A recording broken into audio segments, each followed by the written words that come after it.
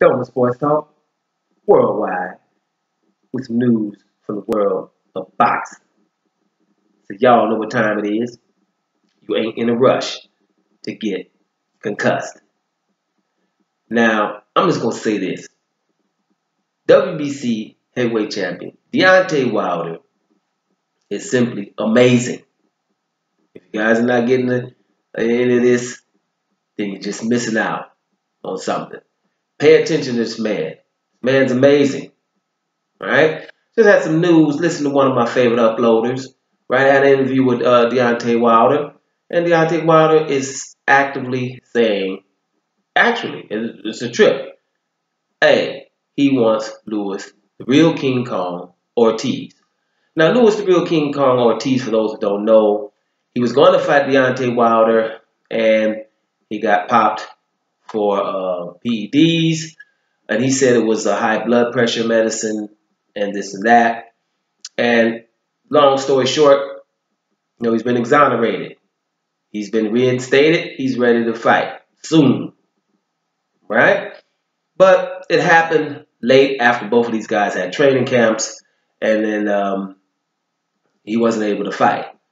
So it's very interesting that he's able to fight but that must mean it's, it's all good. So whatever the case may be, he's ready to go. So I was basically, me personally, I was like, well, whatever. Uh, I was about to do, even do a video about it. Deontay Wilder don't need to fight Ortiz soon. I, I, didn't, I don't want to see the fight soon. Okay, because my point would be reinstate Ortiz, let him do a little something first, right? But not directly into a Wilder fight. Why, you may ask? First of all, earn it again. You know, you're a second time offender. That's first. Second of all, somebody that has some empathy for Deontay Wilder. We ain't gonna ask this man to repeatedly go through training camps motivated for somebody and find out at the end of the training camp that he's not gonna be able to fight this guy. I don't know if anybody cares about things like that, but these guys are not PlayStation figures. Right? Just turn it off, turn it back on, and it's on again. I had 8, 10, 12 weeks of training camp for this guy. Find out at the end that it's not going to work out. And I have to refocus. So I wouldn't ask him to do that again, seeing as though we know that he did that with Alexander Povetkin going to England. So I wouldn't want him to do that. I would be like, well, let's make Ortiz fight somebody of substance, one or two fights, and then get a Wilder Wilder. But Wilder's not having any of that talk. Wilder's like, I'll take him now. And I want to punish him.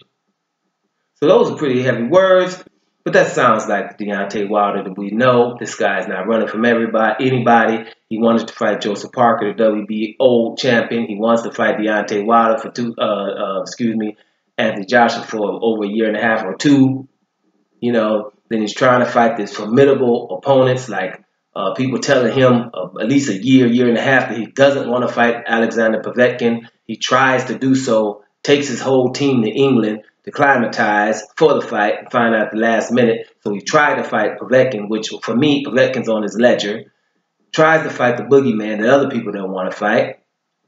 That doesn't happen. Not for his fault. For me, Luis Ortiz is on his ledger. Intentions mean something. Training camps mean something. So the man, the man to me is amazing because I personally was gonna say, no, hold up, you don't have to fight him for a minute. Make him earn his stripes again. Make him get to that position by beating one or two people of substance, right? But nope, he's willing to do that. Seeing as though Anthony Joshua was gonna try to fight Joseph Parker, that's a perfect thing for most of us boxing fans to have him fight Luis Ortiz. I think that's a good lick. It doesn't get any better than that because Luis Ortiz, regardless of what we think, second time offender, this or that, but he's an undefeated Cuban, which means he's dangerous. Undefeated in Cuban in one sense, and we're talking about boxing, what I say to y'all, that means that dude's dangerous. Right? So let's get let's get let's get ready to rumble. Alright, that's all I can see it. Now on another note, you got Deontay Wilder saying, hey, if it comes to Anthony Joshua fight, it's 50-50 or no fight well, that's probably going to be no fight because it's not going to be 50 50, especially, especially if Anthony Joshua goes and beats Joseph Parker and has three belts, and Deontay has the WBC belts, the most prestigious. But at that point, it's going to probably be some different things that's going to have to happen for that fight to happen. Probably not going to be no 50-50 then. Even now, it's going to be hard to do because Eddie Hearn is over there talk, trying to give um, and, uh, your boy Joseph Parker 25, 30% and stuff like 30, I think he's at right now. And all Joseph Parker wants is 35. He ain't going to try to give Deontay Wilder no 50-50. They're feeling entitled. Now, I know what Deontay Wilder is thinking. I know he's like, man, I've been calling this dude out for two, two years. And now he's going to come up and push up on me like he's the one that's better that he's the one the more deserving, and you have been not trying to fight me for two years. Same thing with Joseph Park. You're gonna be like, well, it probably ain't gonna stay two years, but I've been trying to fight him for eight months to twelve to months, almost a year. Now he gonna come into negotiations and tell me what to do.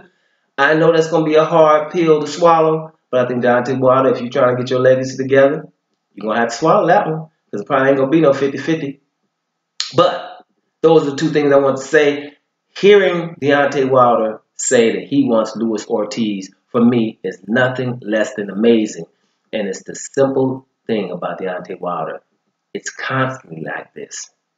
He always talks like a heavyweight champion. He always talks like he wants to fight the best in the division. He always talks like he wants to unify the division. And he's the one with all of the flows. Did I say flows? The flaws. He has all these flaws.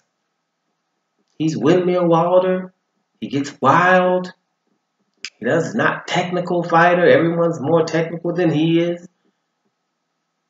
Well, you know, all it is is time to prove it. This to me is nothing less than amazing. I want to see what y'all think about that. Deontay Wilder ready to fight Luis the Real King Kong Ortiz. Wow. Doma Sports Talk Worldwide. I'm out y'all.